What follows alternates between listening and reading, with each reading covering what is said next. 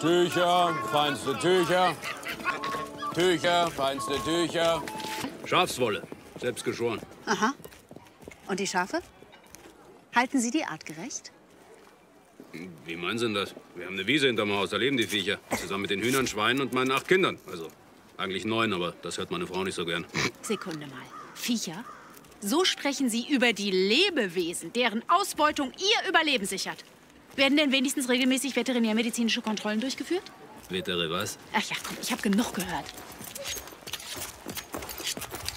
Na, schöne Frau.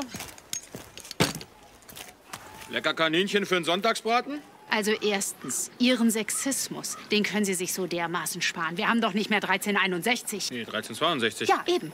Und zweitens wissen Sie genau, dass Kaninchen auch eine Seele haben. Ich muss mir das echt nicht mehr geben hier. Ich habe sowieso keine Zeit. Ich muss zum Fluss. Die wollen dann nämlich Ratten ermorden, weil die angeblich eine neue Krankheit übertragen. Aber nur über meine Leiche.